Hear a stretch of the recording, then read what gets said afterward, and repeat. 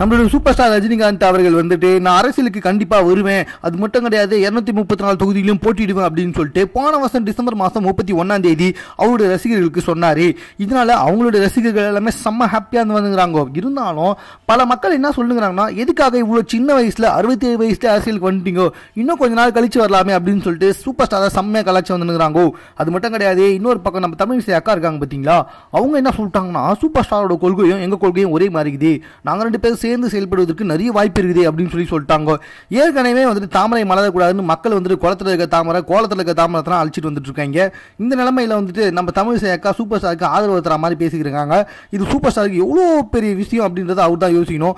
அது மட்டும் கிடையாது இன்னொரு பக்கம் நம்ம எச் ராஜா அவர்கள் சூப்பர் ஸ்டாருடன் சேர்ந்து செயல்படுவது குறித்து தலைமை முடிவு செய்யும் அப்படின்னு சொல்லிக்கிறாரு.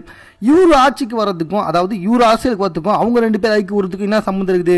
ஒருவேளை எல்லாம் பேசி வச்சுருந்தா வந்துருங்கிறாங்களோ அப்படின்னு சொல்லிட்டு மக்கள் எல்லாமே சூப்பர் ஸ்டார் மேலே லைட் கெட்ட இருந்து வந்துருங்கிறாங்கோ இன்னொரு தரப்பு மக்கள் என்னன்னா சூப்பர் ஸ்டார் அரசியலுக்கு வந்தால் பல மாற்றங்கள் வரும் அப்படின்னு சொல்லி வந்துருங்கிறாங்கோ சரி சூப்பர் ஸ்டார் பக்கம் அப்படியே ஒதுங்கிட்டோம்னு வச்சுக்கோங்களேன். இன்னொரு பக்கம் நம்மளுடைய சூப்பர் கமலஹாசன் சார். உலகநாயகன் கமலஹாசன் என்ன பண்ணியிருந்தார் அப்படின்னு சொல்லி பார்த்தீங்கன்னா ட்விட்டர் பக்கத்தில் அரசியல் குறித்தே பேசியிருந்தார்.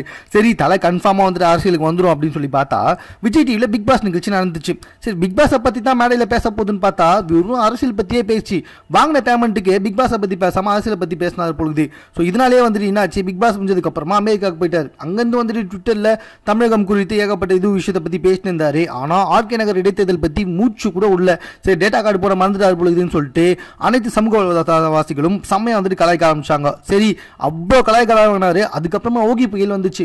ஓகி புயலையாவது லைட்டாக வாயத்தை வந்து பேசியிருக்கணும் மக்களை பற்றியாவது யோசிச்சிருக்கணும்ல அதுவும் கிடையாது.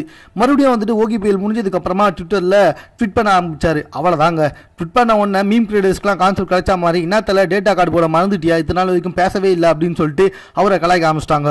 சரி அதுக்கப்புறமா பஸ் கட்டணம் உயிர் வந்துச்சு. இப்பயாவது வந்துட்டு சூப்பர் ஸ்டாரும் நம்ம கமலஹாசன் வாயை திறக்கணும்ல. இதுக்கும் எந்த ஒரு வாயும் திறக்கவே இல்லை.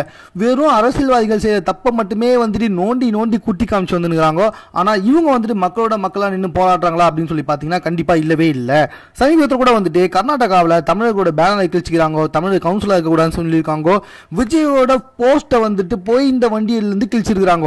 ஸோ இவ்வளோ விஷயம் நடந்துக்குது. இது குறித்து நம்மளோட சூப்பர் ஸ்டார் ரஜினிகாந்தோ இல்லை கமலஹாசனோ இன்ன வரைக்கும் ஒரு கண்டனம் கூட தெரிவிக்கலன்னா பார்த்துக்கோங்க. இதுக்கு எதிர்க்கட்சிக்கு தலைவர் எவ்வளோ பரவாயில்ல. இறங்கி செயல்பட மாட்டார். ஆனால் வாழ்நாள் முழுக்க கண்டனமே விட்டுருப்பார் இருப்பாரு அந்த மாதிரி கூட இவங்க ரெண்டு பேர் செய்யல.